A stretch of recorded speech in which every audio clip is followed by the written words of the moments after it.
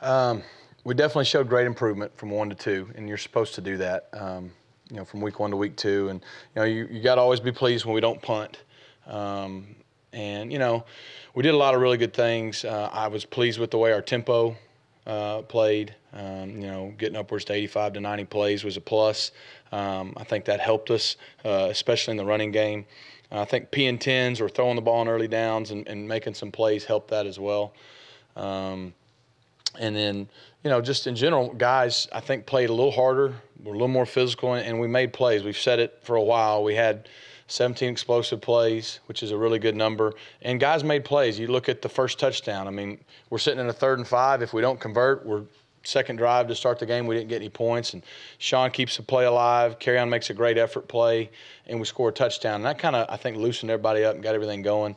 Uh, we made some other throws and catches with Tony and Sean or uh, Kamryn Pettway on a run, making a guy miss. Just guys making some plays, and you got to do that. You got to make some plays sometimes with outside the framework. So, from that standpoint, you know, I was really pleased. Thought we did some really good things there uh, against a pretty good football team.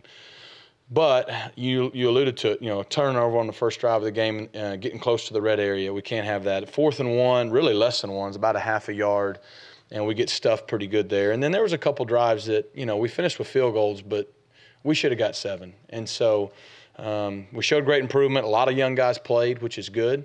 Got good reps, so they got a lot of them got the newness out and got a little better. Um, but we still got a lot of work to do.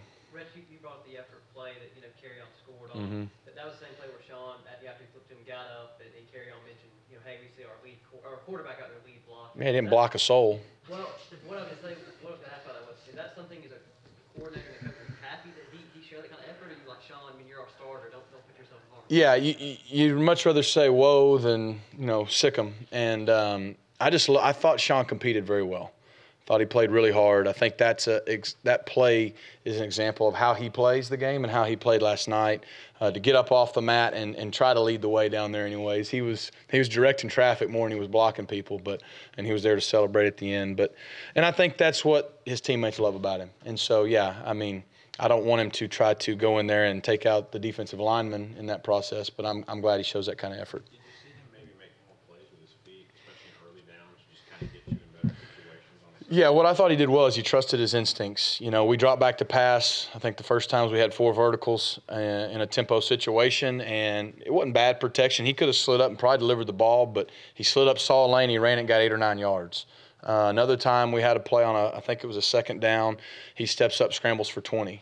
You know, I think when he does that, that really loosens a lot of things up. And so, um, you know, he showed some confidence in his ability to make some plays with his feet, and that's big. We need that. That was his most uh, accurate performance for us. But I know their pass defense has been woeful, so not to take anything away, but how much of that do you attribute to him progressing and being in that position? How much do you attribute to them maybe giving him things to?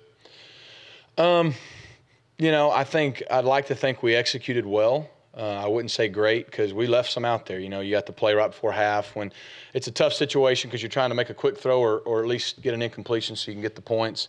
Uh, the home run post in the second half, and we had a couple we left out there throwing and catching. We'd maybe dropped one or two, but uh, we were crisper. We worked really hard on throwing the ball last week. Um, that was part of our plan in that game, and um, you know, overall, he did a nice job throwing the ball. And I, I think that's probably just the standpoint of knowing, hey, I've got the support. I'm the guy. I've got, um, you know, I've had a lot of reps with these guys, and he just played with confidence. And we're going to have to do that to uh, to stay balanced every game. Rick, what, how did the offensive line in particular play one and two? How important is their role coming up against you, coming up against that? Uh, they improved. They played much better. Um, I think we were more physical. We had more knockdowns. We had more what Coach Hand calls intimidation blocks. We drove some guys. Um, you know, so we were able to, I think, kind of balance out the downhill and perimeter yards in the run game enough to help our guys out. Um, but we did some good things. Um, there's still plays like the fourth and one that just stick out in your head. Like, you know, we got to be able to get a half a yard.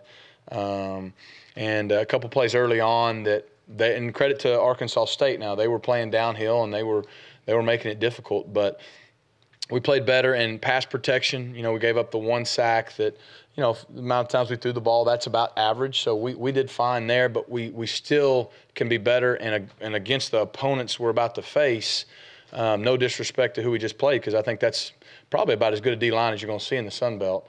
we're going to have to be better, especially in pass pro. And so we just got to continue to improve. Rhett, on that note, do you, do you anticipate going more good on good this week, just to maybe give you a better simulation for A and M season?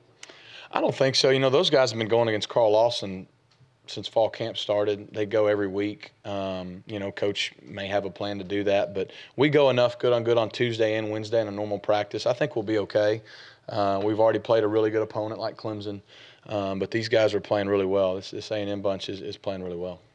Can you talk about Tony Stevens, his game, Yep. what it would mean to you to have him play like this the whole season? It'd be huge, you know. I mean, you got a senior guy we know has a lot of ability, and we've said before, just consistency. I thought he came up big. He made a, uh, you know, a big opening catch to start the game, got us going. Big uh, third down uh, throw and catch with him and Sean, and then he made a move and ran for a touchdown. Him and Sean made that play late. I mean, Tony did some really good things. You know, what I liked the most about Tony though wasn't his four catches for 70 whatever yards and two touchdowns, but he played better without the ball. Um, his effort was good. He was trying to be physical. He did get the holding call. He just got to get his elbows inside and let go. No one to let go, but he was trying to be physical. He was trying to play with great effort. So we can work with that. So that's what I was most proud about. What do you like most about the way Kyle's kind of handled things since he got on campus? It seems like he's pretty, he's coming along quickly. I like that catch the most. You know, that catch was pretty good. Um, you know, Kyle, he caught the ball, popped up, handed the ball to the official, acted like he'd been there before. You know, he's um, he's still learning, trying to play a little catch up. You know, from just knowing the whole scheme and the system.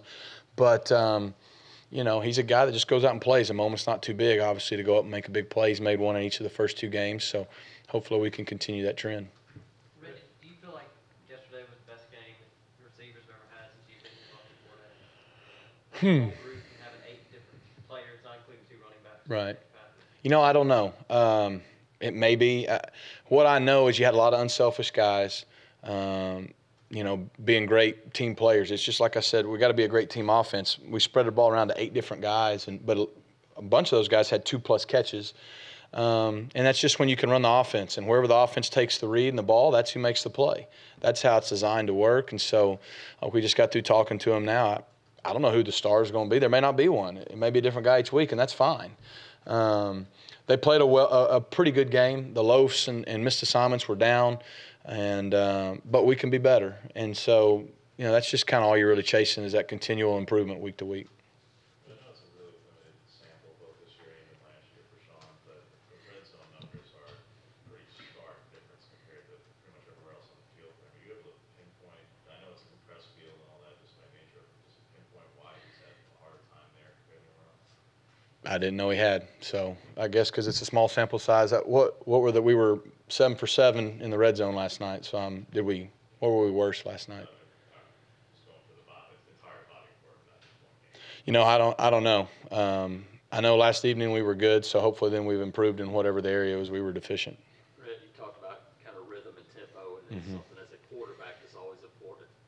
Seeing Sean kind of get into that last night, does it make you as a, thinking about offense, knowing, hey, we need to get him started early in games now to, to throw the ball and of get that feel? Yeah, I mean it gives you confidence. Uh, you go out and play well, and the guys catch the ball, and make some plays for him. I mean, let's get, make no mistake; those guys made some plays. He had a lot of time, and, and we ran the ball well, and that helped. So it all works together. But um, yeah, sure, you always like to get your quarterback off to a good start. Rick, you mentioned Jalen Harris after the opener. I'm curious in a game where you put up 700 plus yards, did he still grade out well, you know, Saturday?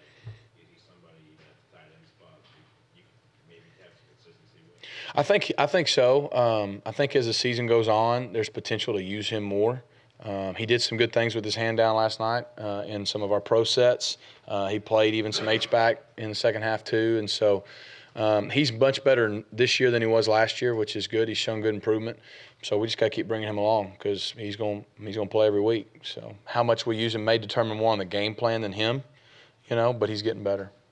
You mentioned some of the younger players, what, what did you got Malik and Cam back there once they got to the game?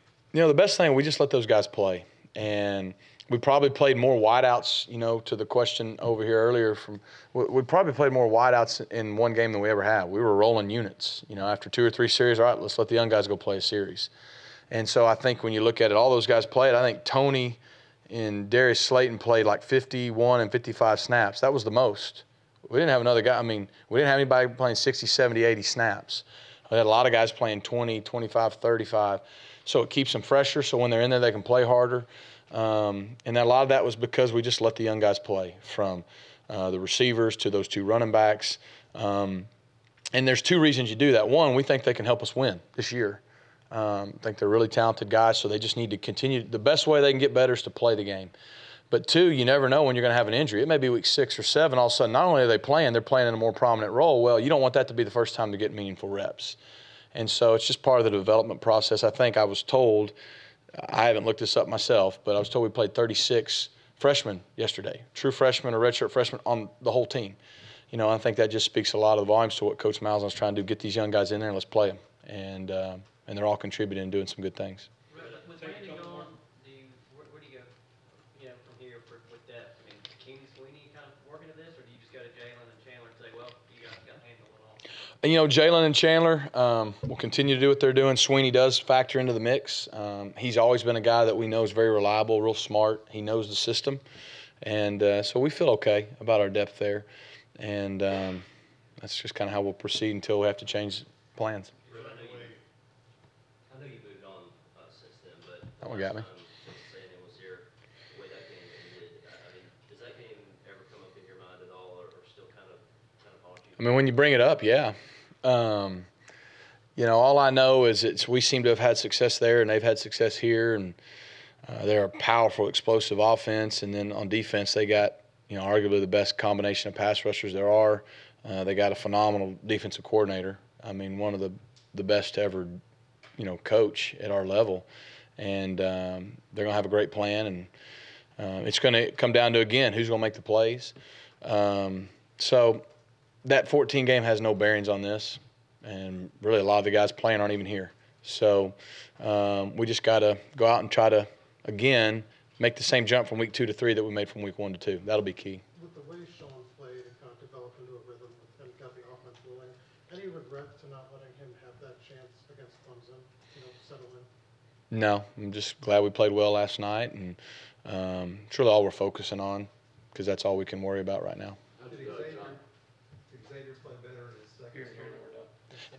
He, he did play better. You know, he did, and you could tell there were some things that we focused on last week. Coach Hand wanted him to improve on. He improved in those areas. So there's still plenty of work to be done, but I think he was more comfortable. Uh, we didn't have any kind of communication issues or anything like that. And again, when you see a guy, there was points made to him throughout the week. You got to get better, and then he addresses that and gets better. Then that that shows at least progress. That always is a good sign. What do you think about John Franklin's, uh, how he played in the fourth quarter? Uh, he's fast, and um, so I thought he I thought he was more comfortable in his time in this game than he was in the first game, which was good. Um, you know, and so just continue to try to bring him along. And I know he's confident. He had a really good week of practice throwing the ball last week, and um, so we'll just continue that progression this week.